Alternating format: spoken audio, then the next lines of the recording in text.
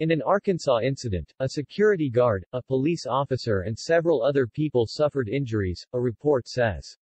Travis Scott, the performer at Friday's Deadly Astroworld Festival in Houston, was arrested in 2017, accused of inviting fans to bypass security and rush the stage at a show in Arkansas, according to a report. In a separate incident, he pleaded guilty to reckless conduct charges following a 2015 incident at the Lollapalooza Music Festival in Chicago, the Associated Press reported. Chicago officials said at the time that Scott had encouraged fans to bypass security barriers but no injuries were reported, according to the AP. In the Arkansas incident, a security guard, a police officer and several other people suffered injuries, the news service reported. Those who follow the music scene say rebellion is part of the image that Scott presents to fans.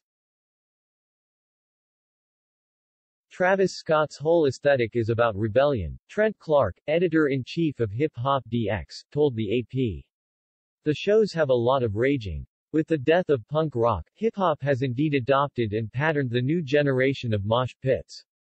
It's not uncommon to see a lot of crowding and raging or complete wild behavior at a Travis Scott show.